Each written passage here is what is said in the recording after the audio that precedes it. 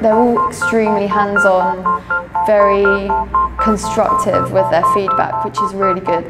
During week two, Event and Corporate Week, students will really start to expand their knowledge of larger designs. I don't think I've ever known teachers be so patient. I think that's remarkable. The teachers have just been so good in encouraging you.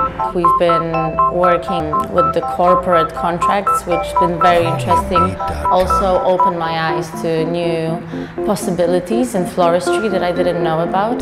We very much focus on the mechanics of what go underneath the flowers, as well as different choices for different events or corporate designs.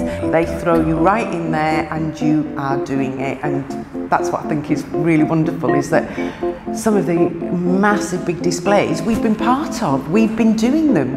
During these practical sessions we really encourage your own personal creativity, taking on board all of the notes from the tutor, using their advice and design techniques but also including perhaps a little bit of your own.